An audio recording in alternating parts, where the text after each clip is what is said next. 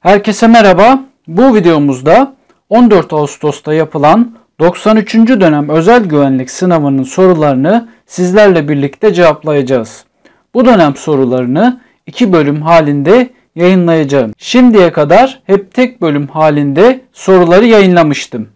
Ancak tek bölümlerde videonun hazırlanması, sisteme yüklenmesi çok fazla zaman aldığından bu dönem sorularını ikiye bölerek yayınlıyorum. Bu videomuzda 93. dönemin ilk 60 sorusu yer almaktadır. Kalan 65 soru ise ikinci bir video ile yayınlanacaktır. Kısa bir açıklamadan sonra ilk sorumuzla başlayalım. 5188 sayılı özel güvenlik hizmetlerine dair kanun kapsamında aşağıdaki ifadelerden hangisi yanlıştır? A. Özel güvenlik görevlisi kanunda belirtilen koruma ve güvenlik hizmetleri dışında başka bir işte çalıştırılamaz. B. Özel güvenlik görevlileri lockout dolayısıyla işten uzaklaştırılamaz. C. Özel güvenlik görevlileri görevleriyle bağlantılı olarak işledikleri suçlardan dolayı kamu görevlisi gibi cezalandırılır. D. Özel güvenlik görevlileri greve katılabilirler. E. Özel güvenlik görevlerine karşı görevleri dolayısıyla suç işleyenler kamu görevlisine karşı suç işlemiş gibi cezalandırılır. Burada 5188 sayılı kanunun maddelerini sormuşlar. A şıkkı 5188 madde 16 ile alakalı.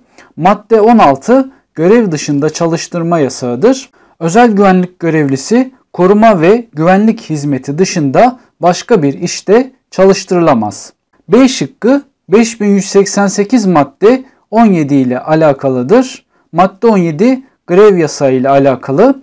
Özel güvenlik görevlisi lockout dolayısıyla işten uzaklaştırılamaz. C şıkkı yine 5188 madde 23 ceza uygulaması ile alakalıdır. Özel güvenlik görevlisi göreviyle alakalı işlediği suçtan dolayı kamu görevlisi gibi cezalandırılır. Yine görev başında size karşı suç işleyen de olsa bu da kamu görevlisine karşı suç işlemiş gibi ceza alır.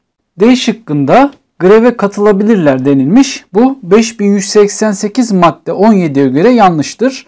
Özel güvenlik görevlileri greve katılamazlar. Sorunun yanlış cevabı D seçeneğidir.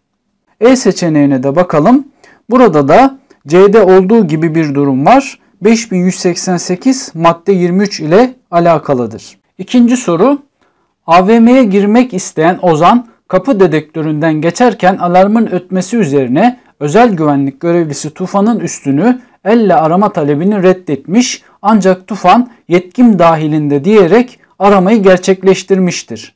Özel güvenlik görevlisinin hukuka aykırı olarak bir kişinin üstünü elle araması hangi hakkın ihlalidir? A. Kişilik B. Seyahat özgürlüğü C. ifade özgürlüğü D. Konut dokunulmazlığı E. Hak arama özgürlüğü İkinci soruda özel güvenlik görevlisi Tufan usulsüz arama yapmış. Özel güvenlikler bazı durumlar hariç elle arama yapamazlar. Ya el dedektörü ya da eşyaya bakıyorlarsa gözle uzaktan kontrol etmelidirler. Burada Tufan abimiz hukuka aykırı olarak kişilik hakkını ihlal etmiştir. İkinci sorumuzun cevabı A seçeneğidir. Üçüncü soru. Özel güvenlik görevlisinin 5188 sayılı özel güvenlik hizmetlerine dair kanunun 7. maddesinde sınırları belirlenen arama yetkisini aşması haksız arama suçunu oluşturur. Bu suç hangi kanunla düzenlenmiştir? A. İş Kanunu, B. Türk Ceza Kanunu, C. İl İdaresi Kanunu, D. Anayasa, E. Adli ve önleme aramaları yönetmeliği. Üçüncü soru özel güvenliğin hakları ile alakalıdır. Haklarımız, yetkilerimiz 5188 madde 7'de açıkça belirtilmiştir. Orada A'dan K'ya kadar 11 başlık var. Sınava hazırlananlar bu 11 başlığa çalışsınlar.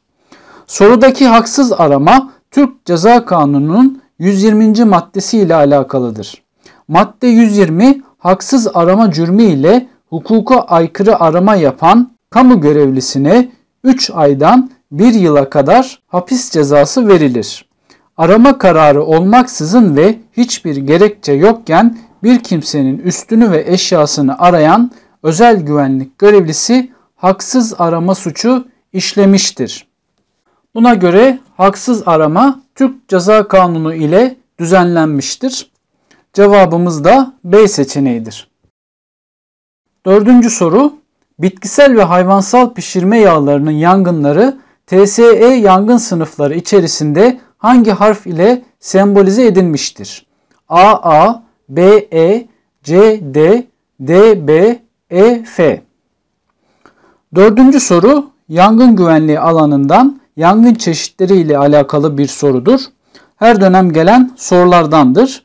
Bu 5 çeşit yanıcı madde sınıflandırılmasını bilmeliyiz. Bitkisel ve hayvansal pişirme yağlarının yangınları F sınıfı ile alakalıdır. Cevabımız E seçeneğidir. Beşinci soru. Havada yaklaşık yüzde kaç oranında oksijen bulunur diye bir soru sorulmuş. A 21, B %5, C %25, D 78, E 35. Beşinci soruda havadaki oksijen oranı sorulmuş. Daha önceden yanma olabilmesi için oksijen miktarı sorulmuştu ama böylesi ilk defa soruluyor. Yanma olabilmesi için oksijen miktarının %14-16 aralığında olması yeterliydi. Kuru havadaki oran ise şöyle. Havanın %78'i azot, %21'i oksijen, %1'i ise argondan oluşmaktadır. Buna göre havada yaklaşık %21 oranında oksijen bulunuyor. Cevabımız A seçeneğidir. Altıncı soru. Özel güvenlik görevlisi Mehmet görev yaptığı iş hanında geceleyin bir kuyumcudaki kasayı açmaya çalışan soyguncuyu özel güvenlik görevlisi arkadaşı ile birlikte suçüstü yakalamıştır. Bu alandan itibaren aşağıdakilerden hangisi özel güvenlik görevlisi Mehmet'in yetki ve görevlerinden olmayıp yapılmaması gereken işlemlerdendir? A. Genel kolluğa bilgi verme. B. Olay yerini muhafaza altına alma. C. Yakalananın ifadesini alma. D. Başka soyguncular olabileceği ihtimaliyle sorumluluk alanındaki diğer dükkanları kontrol etme. E. Olayda elde edilen delillerin korunması için tedbir alması. Altıncı soruda özel güvenlik görevlisi çalışırken hırsızlık yapan bir kişiyi suçüstü yakalamış. Soruda bu durumda yapılmaması gerekeni sormuşlar. A. Genel kolluğa bilgi veririz. Doğru olacaktı. B. Muhafaza altına alma. Bu da doğru olacaktı. C. Yakalananın ifadesini alma ya da sorgulama. Bu yanlıştır. İfade alma bizim işimiz değildir. Bizden istenilen cevap C seçeneğidir. Diğer şıklara da bakalım. D'deki dükkanları kontrol etmede doğrudur. Belki hırsızın bir suç ortağı vardır. E'deki delilleri korumada doğru olacaktır. Cevap C şıkkı. Yedinci soru. Özel güvenlik görevlisi Ali çalıştığı iş yerine geldiğinde özel güvenlik kimlik kartını evinde unuttuğunu fark etmiştir. Bu durumda aşağıdakilerden hangisi doğrudur? A. Çalışmasını ve yetki kullanılmasını etkilemez. B. Amirinin bilgisi dahilinde çalışabilir ve yetkilerini kullanabilir. C. İş yeri sahibinin onay vermesi halinde çalışabilir ve yetkilerini kullanabilir. D. Yakalama yetkisi haricindeki yetkilerini kullanabilir. E. Özel güvenlik kimlik kartını evinden getirene kadar yetkilerini kullanamaz. 7. soru 5188 madde 12 kimlikle alakalıdır. Özel güvenliğe kimlik valilikçe verilir. Kimlik kartımızı görev alanı ve süresince görünecek şekilde yakamıza takmak zorundayız. Soruda olduğu gibi kimlik kartını evde unutmuşsak 5188 madde 7'deki haklarımızı kullanamıyoruz. Dolayısıyla bizden istenilen cevap da E seçeneğidir. Kimlik gelene kadar yetkimiz yoktur. Kimlik olmadan çalışamayız. 8. soru. Ancak eğitim ve öğretim kurumlarında, sağlık tesislerinde, talih oyunları işletmelerinde, içkili yerlerde silahlı özel güvenlik görevlisi çalıştırılmasına izin verilmez. Şeklindeki düzenleme hangi kanunda yer almaktadır? A. Polis Vazife ve Selahiyet Kanunu B. İl İdaresi Kanunu C. Türk Ceza Kanunu D. Türk Ticaret Kanunu E. Özel Güvenlik Hizmetlerine dair kanun. 8. soru 5188 madde 8 silah bulundurma ve taşıma yetkisi ile alakalıdır. Cevabımız E seçeneği özel güvenlik hizmetlerine dair kanun yani 5188 olacaktır. Silahlı olarak eğitim öğretim kurumlarında, sağlık tesislerinde, içkili yerlerde, talih oyunları oynanan yerlerde, özel toplantılarda, spor müsabakalarında, sahne gösterileri gibi etkinlik ve bazı alanlarda özel güvenlik görevlisi silahlı olarak görev yapamaz. 9. soru 4857 sayılı iş kanununa göre aşağıdakilerden hangisi sürenin bitiminden önce veya bildirim süresini beklemeksizin haklı nedenle iş sözleşmesini fesih sebeplerinden biri değildir?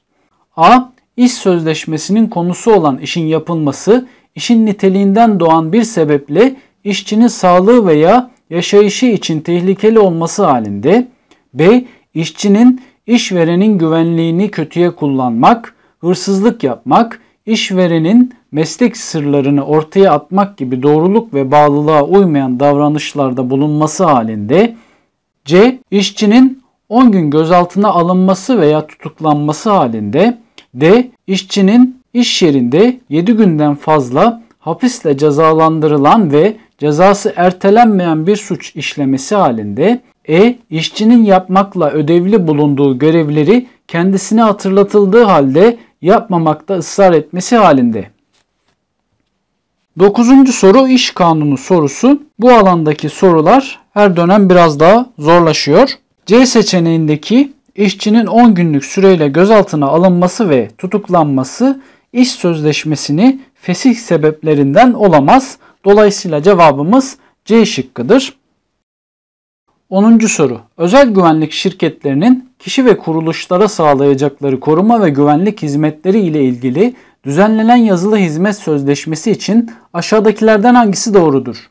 A. Hizmet sözleşmesi ilgili özel güvenlik şirketi tarafından koruma ve güvenlik hizmetinin başladığı gün mesai bitimine kadar valiliğe bildirilir. B. Hizmet sözleşmeleri gizli olduğundan hiçbir yere bildirilmez. C. Özel güvenlik şirketinin üstlendikleri koruma ve güvenlik hizmetleri için hizmet sözleşmesi yapma zorunluluğu yoktur.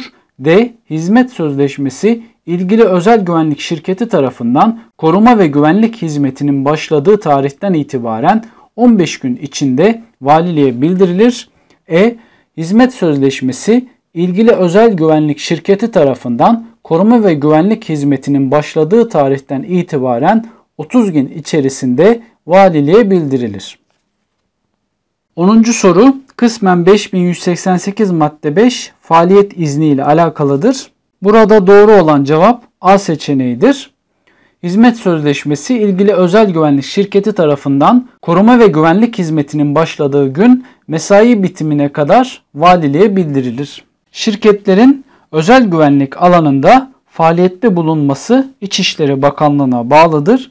Yöneticinin lisans mezunu olma şartı vardır. Daha önceden bu alandan da böyle bir soru gelmişti.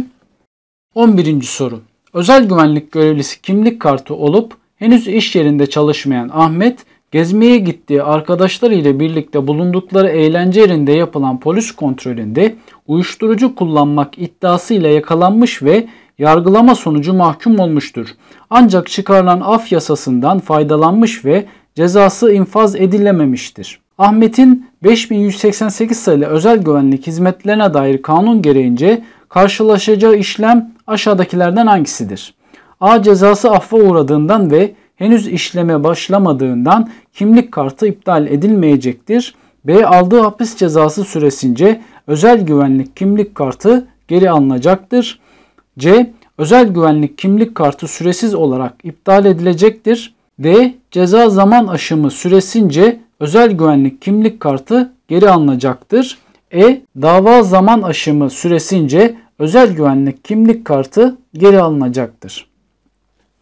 11'de Ahmet yargılanma sonucu mahkum oldu dediğine göre sorunun gerisini okumamıza gerek yoktu. 5188 madde 10'da işleyeceği suça göre bir tanım yapılmış. Burada uyuşturucudan dolayı mahkum olmasaydı bile hakkında o alanda kovuşturma devam etseydi o durumda bile C seçeneğindeki gibi özel güvenlik kimlik kartı süresiz olarak iptal edilecektir. 12. sorudayız. Soruya geçmeden önce halen daha kanalıma abone değilseniz abone olup zil işaretine tıklayarak bundan sonraki paylaşımlarımdan anında haberdar olabilirsiniz. Özel güvenlik izin belgesinde belirtilen adreste faaliyetlerine son vererek ayrıldığı tespit edilenlerle ilgili aşağıdakilerden hangisi doğrudur? A. Özel güvenlik uygulamasının sona erdirilebilmesi için en az bir ay önce başvuru şartı aranır. B. Özel güvenlik uygulaması komisyonun kararı ve valinin onayı ile sona erdirilir. C. Özel güvenlik izin belgesi faaliyetin devam ettiği adreste de geçerlidir. D. Adres değişikliği ile özel güvenlik izni iptale gerek kalmaksızın son bulmuştur. E. Özel güvenlik belgesinde adres belirtilmez. 12. soru 5188 madde 3 özel güvenlik izni ile alakalıdır.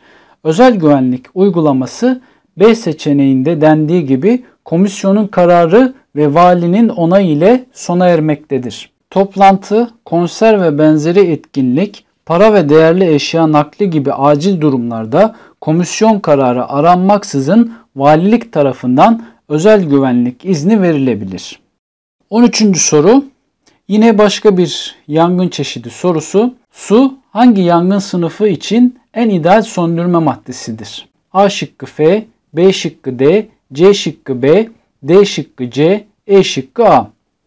Az önce F'yi sormuşlardı. Burada da A sınıfını sormaktadırlar. Hemen hepsine bakalım. A sınıfı katı yanıcı maddeler su esaslı cihazlar ve kuru kimyevi toz ile söndürülürler. B sınıfı sıvı yanıcı madde yangınıdır. Gaz, benzin, tiner ve benzeri şeylerdir. Bunlar oksijeni boğmak suretiyle karbondioksit ve köpüklü kuru kimyevi toz ile söndürülürler.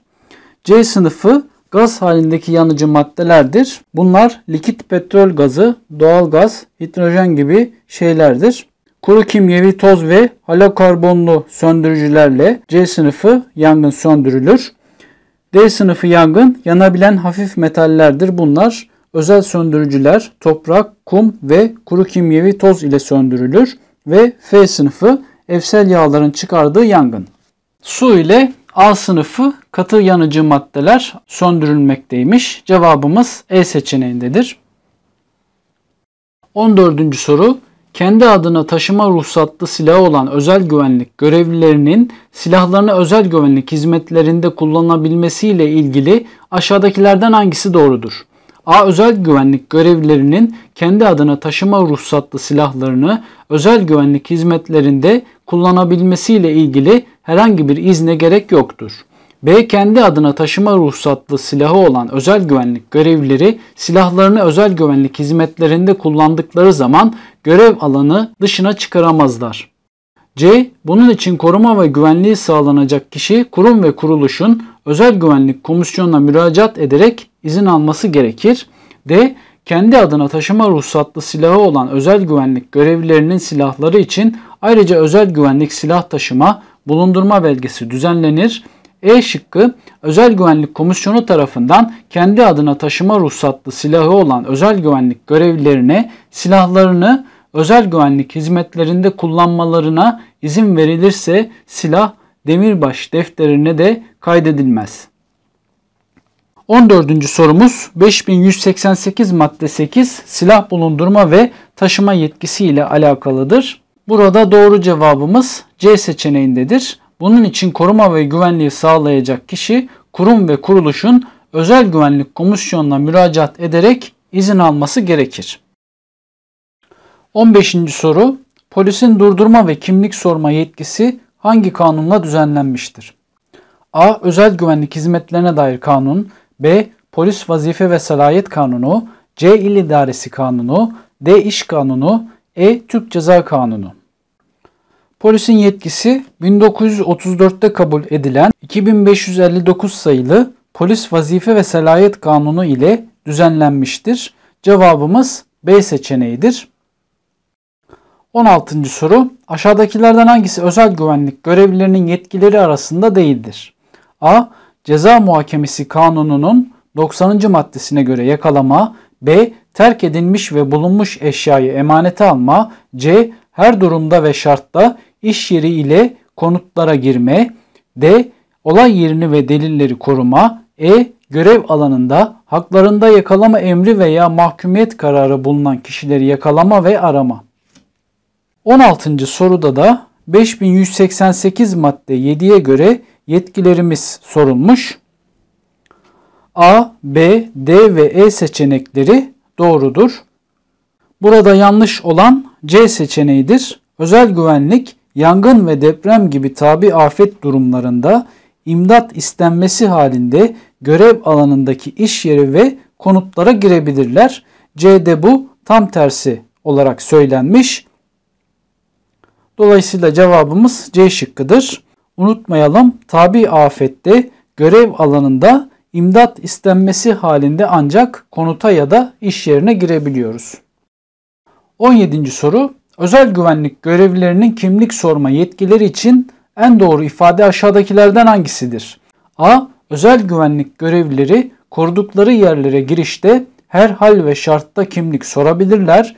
B. Özel güvenlik görevlilerinin kimlik sorma ve kimlik tespitine yönelik genel kollukla aynı şartlarda yetkileri vardır.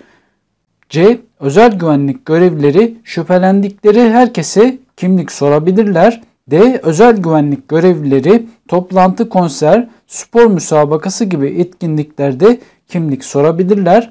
E. Özel güvenlik görevlilerinin kimlik sorma yetkileri yoktur. 17'de doğru olan şık D seçeneğidir. Özel güvenlik görevlileri toplantı, konser, spor müsabakaları gibi etkinliklerde kimlik sorabilirler. 18. soru Özel güvenlik hizmetlerine ilişkin yaptırım gerektiren fiiller ile idari para cezaları aşağıdakilerden hangisi tarafından verilir? A. Mahalli Mülki Amiri B. İl Özel Güvenlik Komisyonu C. İçişleri Bakanlığı D. Özel Güvenlik Denetleme Başkanlığı E. Defterdarlık 18. soru 5188 madde 20 idari para ve yaptırım gerektiren hallerle alakalıdır. Çok uzun madde olduğu için ayrıntılı veremiyorum. Bu maddeye göre cezalar mahalli mülki amiri tarafından verilmektedir. Cevabımız A seçeneğidir. 19. sorudayız. Alışveriş merkezi girişinde görev yapmakta olan özel güvenlik görevlisi kapı dedektörü ve el dedektörü ile yaptığı kontrolde metalden arınmadığı anlaşılan ve üzerindeki metalleri çıkarmayı reddeden bir kişinin içeri girmek istemesi üzerine üst araması yönünden yapması gereken en doğru davranış biçimi ne olmalıdır? A. El ile üst araması yapmalıdır. B. Şahsın üst aramasını yapmak için genel kolluktan yardım talep etmelidir. C. Gözle yapacağı kontrolden sonra şahsın girişine müsaade edebilir. D. Şahsın kimlik tespitini yaparak girişine müsaade etmelidir. E. Şahsın fotoğrafını çekip kimliğini aldıktan sonra girişine müsaade etmelidir. 19'da AVM girişinde el dedektörü ile aramada şahsın üzerinde şüpheli bir şey olduğu söylenmiş. Normalde elle arama yapamıyoruz. En fazla el dedektörü ve uzaktan gözle kontrol edebiliyoruz. Bundan da öte bir durum olursa genel kolluktan yardım talep etmeliyiz. B şıkkında da öyle yapılmış. Şahsın üst aramasını yapmak için genel kolluktan yardım talep edilmiştir. 20. soru Emniyet Teşkilatı rütbe sıralamasına göre aşağıdakilerden hangisi en üst rütbedir? A. Komiser B. Başkomiser C. Emniyet Amiri D. 1. sınıf Emniyet Müdürü E. 4. sınıf Emniyet Müdürü Bu alanda ilk kez böyle bir soru geldi. Rütbe sıralamaları görselde olduğu gibidir. Seçenekler arasında en üst rütbe birinci sınıf emniyet müdürüdür. O da D seçeneğinde yer almaktadır. Asıl sıralama emniyet genel müdürü ile başlıyor. Şıklarda bu olsaydı en üst bu olacaktı. Ondan sonra birinci sınıf, ikinci sınıf, üçüncü sınıf, dördüncü sınıf emniyet müdürü, emniyet amiri, başkomiser, komiser, komiser yardımcısı ve en altta polis memuru yer almaktadır. Soruya göre cevabımız da D seçeneğidir. 21. sorudayız. Ateşli silahını 5188 sayılı özel güvenlik hizmetlerine dair kanuna aykırı kullandığı tespit edilen özel güvenlik görevlisi hakkında hangi işlem uygulanır? A. Bir defaya mahsus olmak üzere ikaz edilir. B. Silah taşımaya haiz olduğu için herhangi bir işlem uygulanmaz. C. Bir daha özel güvenlik alanında çalışamaz. D. Aynı ilde bir daha çalışamaz. E. idari para cezası verilir. 21'de cevabımız C seçeneğidir. Özel güvenlik görevlisi silahını aykırı bir şekilde kullanırsa bir daha özel güvenlik alanında çalışamaz. 22. soru. Özel güvenlik şirketleri için aşağıdaki ifadelerden hangisi yanlıştır? A. Şirketlerin özel güvenlik alanında faaliyette bulunması İçişleri Bakanlığı'nın iznine tabidir. B. Özel güvenlik şirketine faaliyet izni verilebilmesi için şirket hisselerinin nama yazılı olması gerekir. C. Özel güvenlik şirketinin faaliyet alanının münhasıran koruma ve güvenlik hizmetleri olması zorunludur. D. Özel güvenlik şirketleri şubelerini 15 gün içinde İçişleri Bakanlığı'na ve ilgili valiliğe yazı olarak bildirir.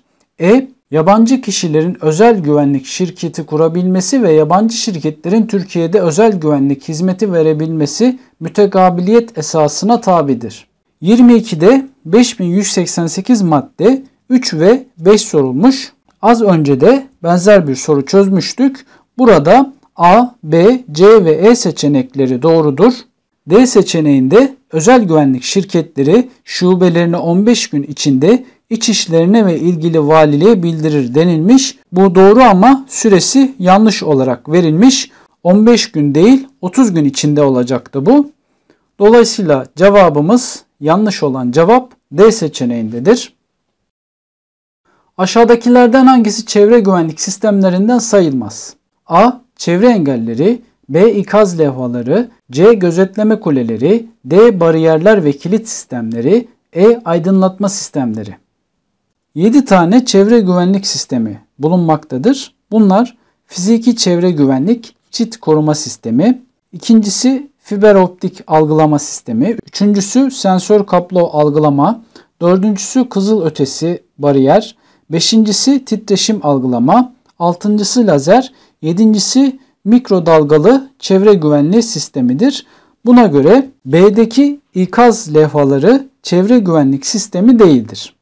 24. soru İl özel idareleri ve belediye şirketleri ile bağlı kuruluşlarına ait özel güvenlik şirketlerinin yöneticileri hariç alarm izleme merkezi, eğitim kurumu veya özel güvenlik şirketi yöneticilerinde 5188 sayılı özel güvenlik hizmetlerine dair kanuna göre aşağıdakilerden hangisi aranmaz?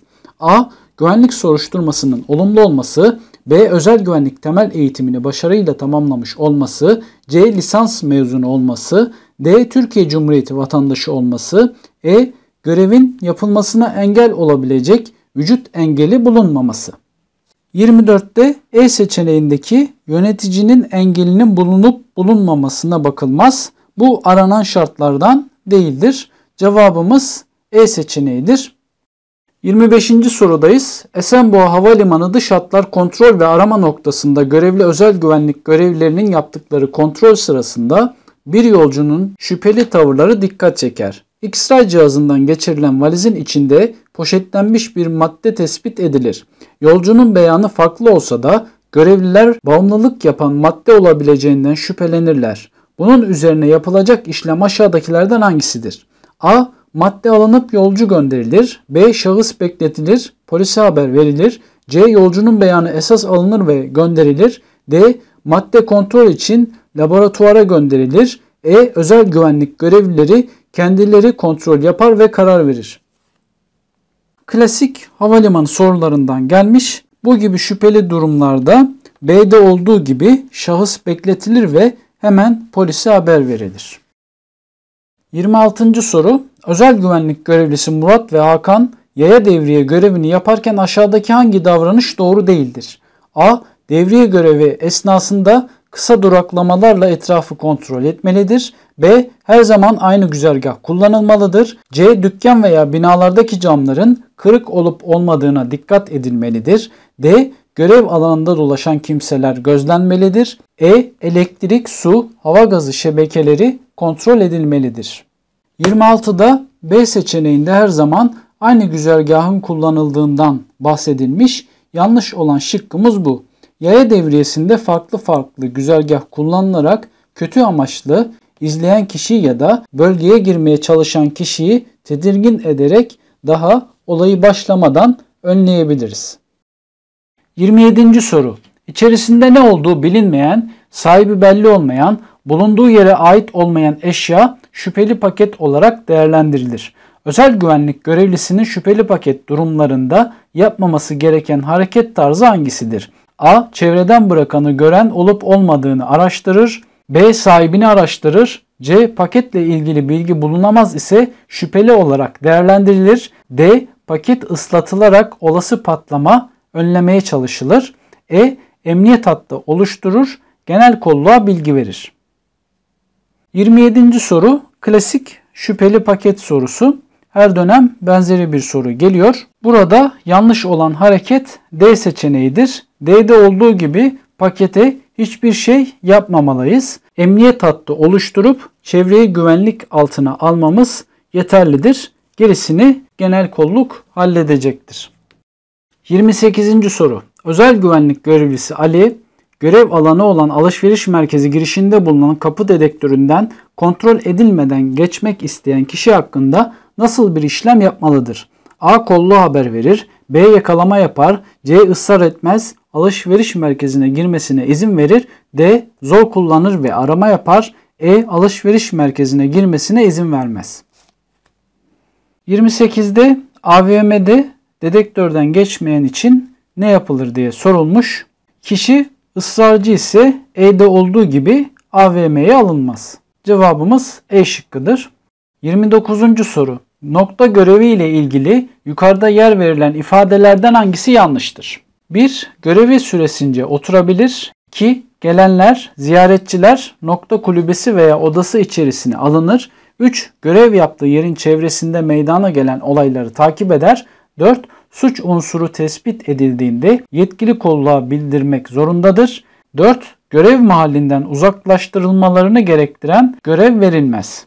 29. soruda 1 ve 2 yanlış. Bir de görev süresince oturur denilmiş. Yanlış bu. İlgili kişi noktada arada en fazla 20 adım sınırında hareket etmelidir. İkincisi de yanlış. Nokta içerisine ziyaretçi alınmaz.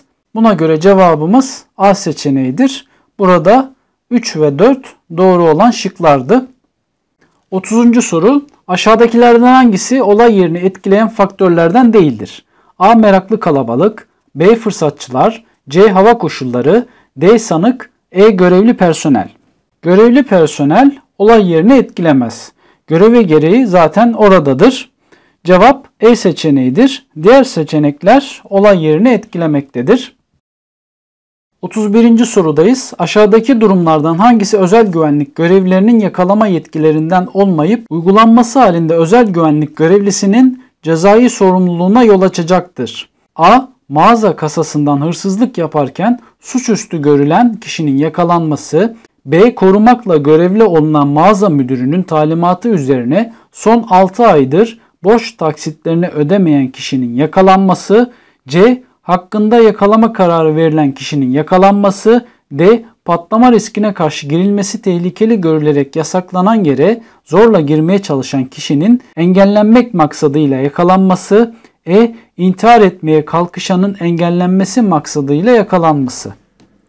31'de A seçeneğindeki mağazada hırsızlık yapanı, C'deki hakkında yakalama kararı olanı, D'deki patlama riskine karşı yasak olan yere gireni engellemek amacıyla yakalama. E'deki intihar ya da kişinin kendisine zarar vereceği düşüncesiyle kişiyi yakalama doğru olacaktır. B seçeneğindeki mağaza müdürünün alacağını tahsil etmek için kişiyi yakalatmak istemesi yanlıştır. Özel güvenlik borç tahsildarı değildir. Geçen dönemde apartman yöneticisi aidatları özel güvenliğe toplatmaya çalışmıştı.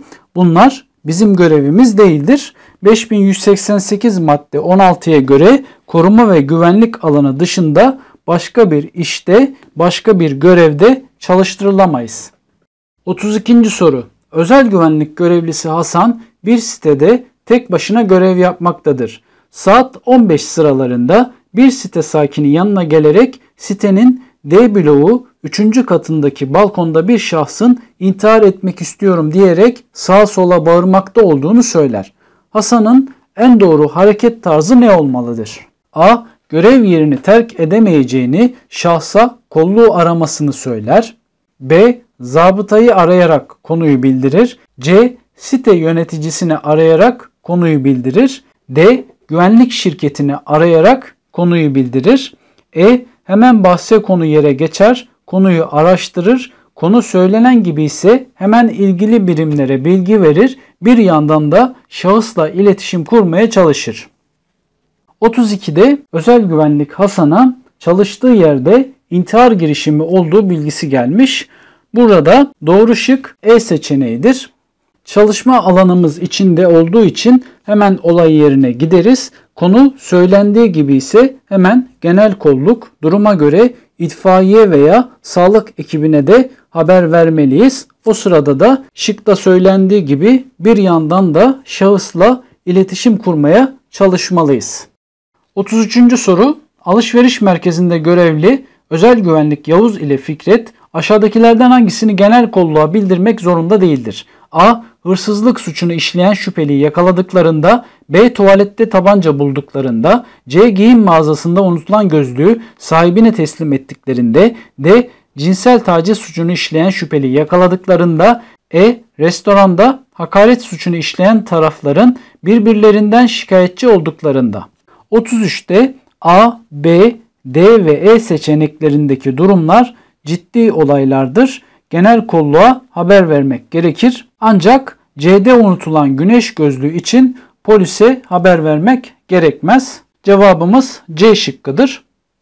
34. soru Özel güvenlik görevlisi Ahmet ile Mehmet görevli oldukları alışveriş merkezi girişinde yaptıkları kontrolde bir şahsın üzerinde taşınması yasak ve suç olan bıçak ele geçirmişlerdir. Bu suç unsuru bıçakla ilgili olarak hangi tutanağı düzenlemeleri gerekir? A. Yakalama tutanağı, B. Tespit tutanağı, C. Emanete alma tutanağı, D. Zor kullanma tutanağı, E. Teslim tesellüm tutanağı.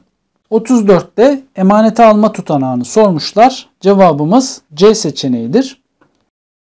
35. soru. Özel güvenlik görevlisi Mustafa ve Ali AVM'nin giriş kapısında X-ray cihazından geçen çantanın içerisinde patlayıcı madde düzeneğini görmesi üzerine özel güvenlik görevlilerinin olaya müdahalesinde yukarıdaki uygulamalardan hangisi doğrudur?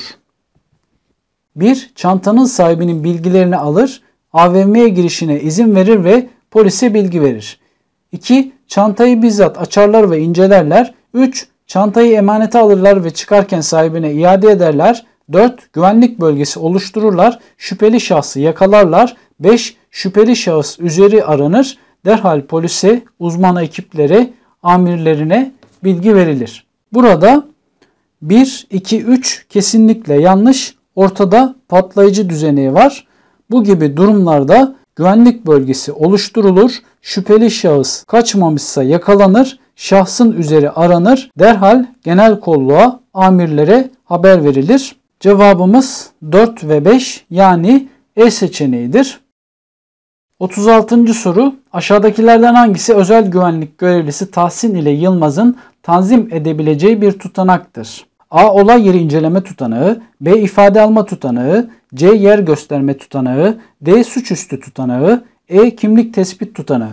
36'da olay yeri inceleme, ifade alma, yer gösterme ve kimlik tespit tutanakları bizlik değildir. Bunlar genel kollukla alakalıdır. Özel güvenliğin düzenleyebileceği tutanak çeşitleri şunlardır. Olay yeri inceleme ve tespit tutanağı A şıkkında sadece olay yeri dediği için bu bizlik değil. Tanık, mağdur, müşteki ifade tutanağı, üst arama tutanağı, değer tespit tutanağı, yer gösterme tutanağı, ihbar tutanağı, D seçeneğinde olduğu gibi suçüstü tutanağı, yangın yeri tutanağı, buluntu eşya tutanağı, müracaat tutanağı, nöbet devir teslim tutanağı, arama, yakalama, el koyma tutanakları, teslim tutanağı özel güvenliğin tutabileceği tutanak çeşitlerindendir. 37. soru Aşağıdakilerden hangisi olay yerinde elde edilen kimyasal bulgu çeşitlerinden biri değildir? A. Uyuşturucu maddeler, B. Toksit maddeler, C. ilaçlar, D. Atış artıkları, E. Kemik parçaları. 37'de maddi delil çeşitlerinden bir soru gelmiş. Her dönem bunlardan birinden bir soru geliyor. 4 çeşit maddi delil vardır.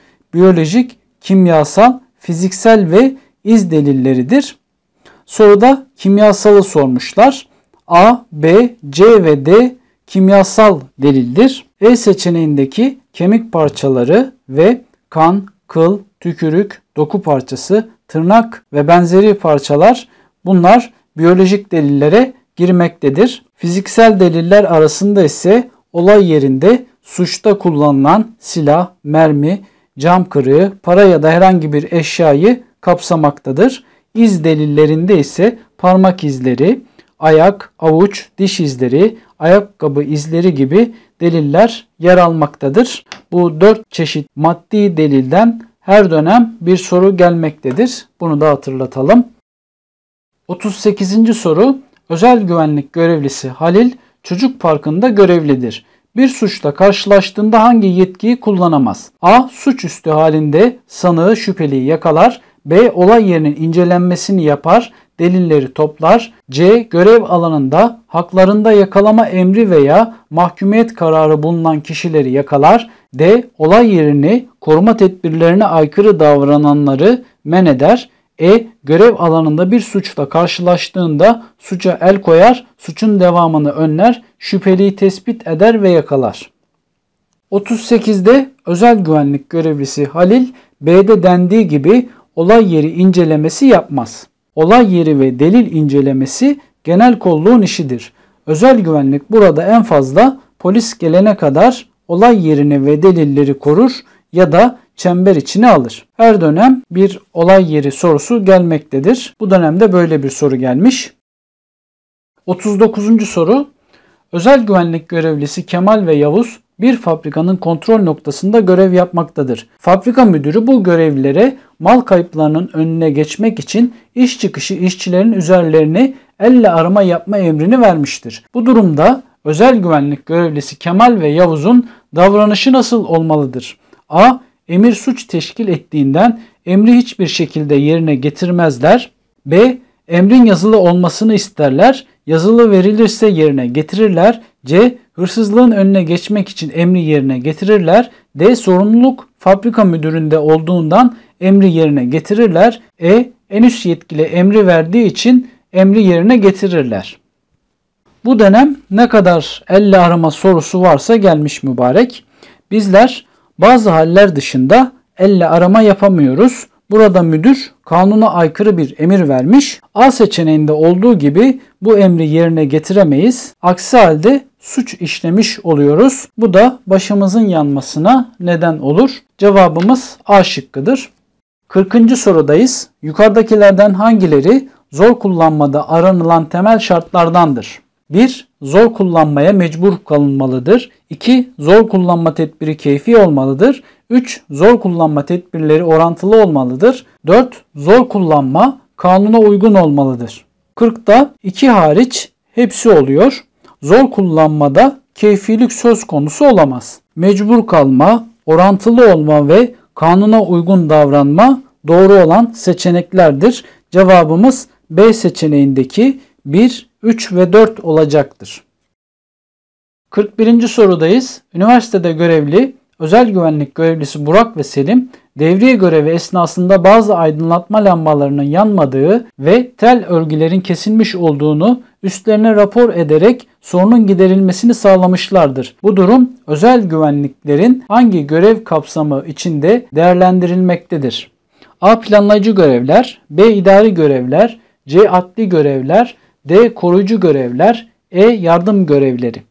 Burada aksaklıklara karşı üstlerini bilgilendirmek amacıyla rapor yazılmış. Burak ve Selim raporu yazarak koruyucu görevini yerine getirmiştir. Cevabımız D seçeneğidir. 42. soru Aşağıdakilerden hangisi özel güvenlik görevlilerinin spor müsabakalarındaki görev, yetki ve sorumluluklarından değildir? A. Spor alanı güvenlik planındaki görev tanımlamalarına uygun olarak görev almak. B. Spor alanında güvenlik kontrolü yapmak ve genel kollukla birlikte iç güvenliği sağlamak. C. Spor alanında düzeni bozan fiilleri işleyen seyircileri gözaltına almak. D. Spor alanlarına sokulması yasak olan maddelerin sokulmasına ve kullanılmasına engel olmak. E. Spor alanında söz ve davranışlarla hakarette bulunanları kolluk görevlisine bildirmek. Gözaltına almak, sorgulamak, delilleri incelemek bizim işimiz değildir. Sorular farklı olsa da bu üçünü bildik mi gerisini kolayca halledebiliriz. C seçeneğinde düzeni bozan kişiyi gözaltına alma denilmiş. Bu yanlıştır. Orada polisle koordineli olarak çalışıyoruz ki gözaltı polisin kararı ile de olmuyor. Bu ancak Cumhuriyet Savcısının talimatı ile oluyor. 42'de yanlış olan cevap C seçeneğidir. 43. soru aşağıdakilerden hangisi uyuşturucu madde değildir? A. Eroin B. Kokain C. Meskalin D. Asetik asit E. Amfetamin D seçeneğindeki asetik asit uyuşturucu madde değildir. 44. soru Özel güvenlik görevlisi Murat görev alanı içerisindeki bir konuya ilişkin not alırken aşağıdakilerden hangisini not etmemelidir? A gördüklerini, B duyduklarını, C anlatılanları, D bildiklerini, E hayal ettiklerini. Burada Murat hayal ettiklerini not almamalıdır. Cevabımız E seçeneğidir. 45. sorudayız. Aşağıdakilerden hangisi eşkal tarifinde belirtilmesi gereken özelliklerden biri değildir? A boy, B saç rengi, C korku durumu, D cinsiyet durumu, E yüz durumu. 45'te eşkal yani kişinin ana ayırt edici fiziki durumu dışında bir seçenek var. O da C seçeneği korku durumudur. Eşkalde boy, saç rengi, cinsiyet, yüz, kulak, çene ve benzeri fiziki durumlar ön plandadır. Korku durumunun eşkalle bir alakası yoktur. Cevabımız C şıkkıdır. 46. sorudayız. Aşağıdaki sistem veya cihazlardan hangisi oluşturulan bir manyetik alan içinde maddeleri algılar?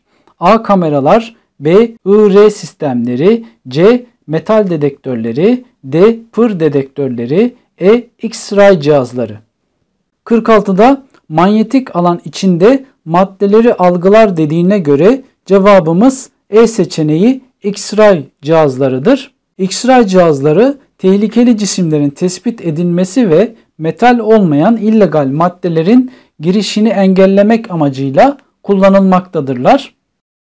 47. soru bir binaya yetkisiz giriş çıkış yapılmasını engellemek ve herhangi zamanda kaç kişinin bulunduğunu takip etmek için hangi sistem kullanılmalıdır?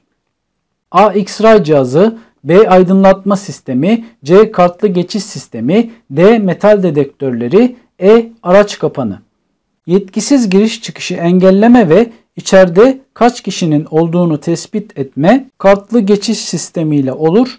Cevabımız C seçeneğidir. 48. soru ilk yardım sorusu. Aşağıdaki şıklardan hangisinde temel yaşam desteği uygulaması sırasında yapılan dış kalp masajı basısız şekli doğru olarak verilmiştir? A. Yetişkinler için tek elle, çocuklar için iki parmakla, bebekler için çift elle. Yine o şekilde B'de de çift elle, iki parmakla, tek elle, C'de çift elle, çift elle, tek elle. Yine D'de çift elle, çift elle iki parmakla ve E'de çift elle, tek elle ve bebekler için iki parmakla olduğu ifade ediliyor. 48'de dış kalp masajı E seçeneğinde doğru olarak verilmiştir. Yetişkinlerde kalp masajı çift elle, çocuklarda yani 1-8 yaş arası kişilerde tek elle, bebeklerde ise iki parmakla kalp masajı yapılır. Göğüs kemiği yetişkinlerde 4-5 santim aşağı inecek şekilde, çocuklarda 2,5-5 santim aralığında, bebeklerde ise 1 1,5 santim aralığında göğüs kemiği aşağı inecek şekilde 30 kalp basısı uygulanmaktadır. 49. soru. Aşağıdaki sistem ve cihazlardan hangisi şahıs kontrolünde kullanılamaz? A.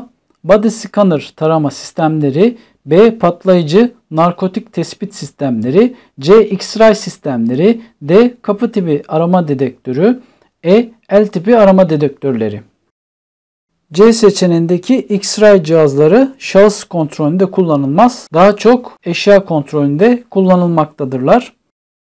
50. sorudayız. X-ray cihazında bant üzerinde konulan bavul ve paketler arasındaki mesafe en az kaç santim olmalıdır? A 75 santim, B 90 santim, C 110 santim, D 50 santim, E 25 santim. Bu soru çok önceden yine çıkmıştı.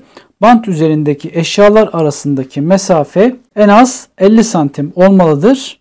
Dolayısıyla 50. sorumuzun cevabı 50 santimdir. Böylelikle 50. soruyu da geride bırakmış olduk. Kanalıma abone değilseniz abone olup zil işaretine tıklayarak bundan sonraki paylaşımlarımdan anında haberdar olabilirsiniz.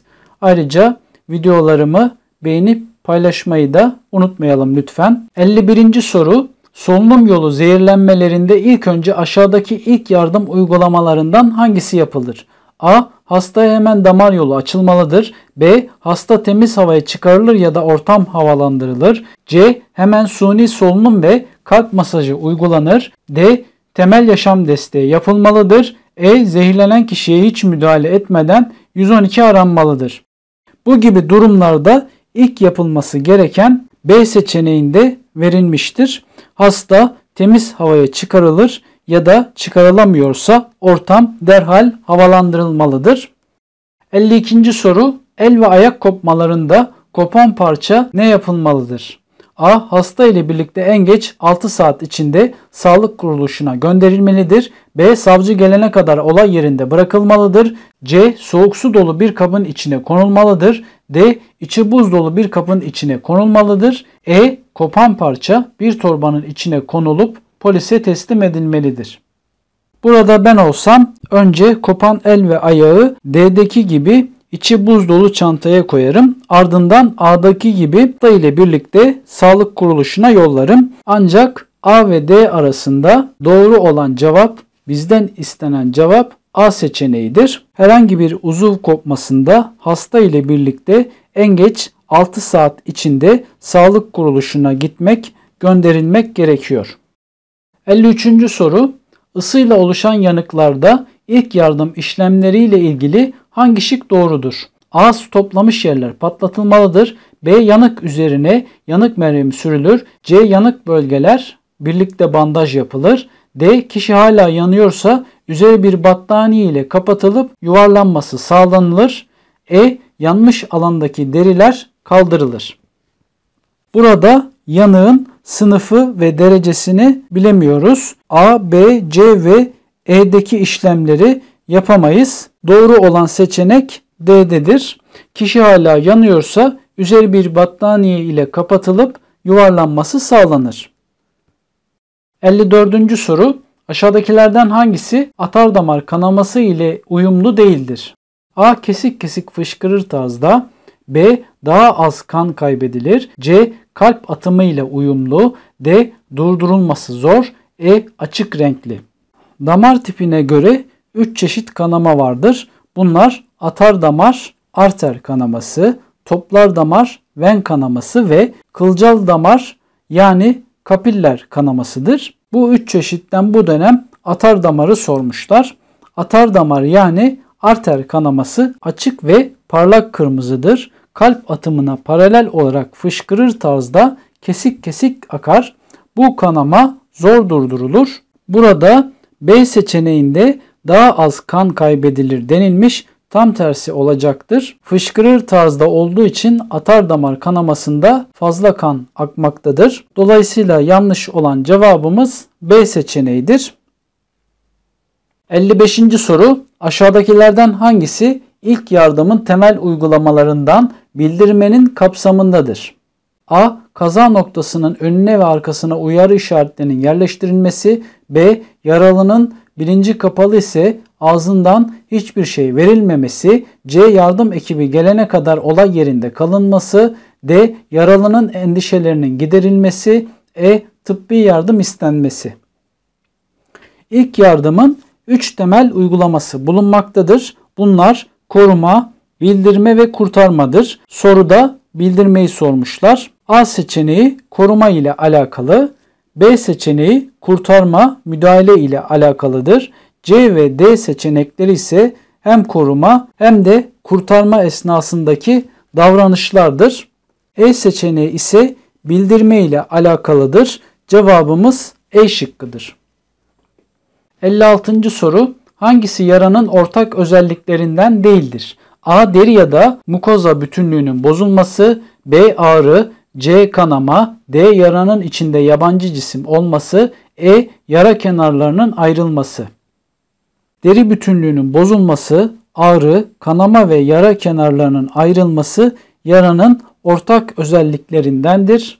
D seçeneğindeki yaranın içinde yabancı cisim olması ortak özellik değildir. İlk yardım, yangın gibi konular doğrudan bilgi istediği için çalışırken muhakkak bu konulara da bakmanız gerekiyor. Sadece soru çözmekle sınavı geçemezsiniz. 57. soru bir tanım sorusu. İlk yardım nedir diye sorulmuş. A. Olay yerinde ilaç verilerek yapılan girişimdir. B. Ambulansta sağlık personeli tarafından yapılan girişimdir. C. Olay yerinde ortamda bulunan araç ve gereçlerle uygulanan acil önlem girişimidir.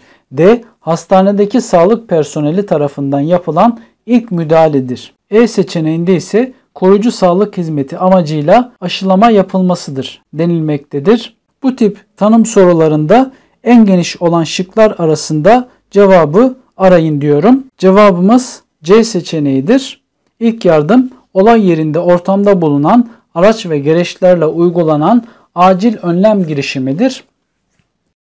58. soru başka bir tanım sorusu. Acil tedavi nedir diye sorulmuş. A. Acil tedavi ünitelerinde doktor ve diğer sağlık personeli tarafından uygulanan tıbbi müdahalelerdir. B. Yardım çağırmaktır.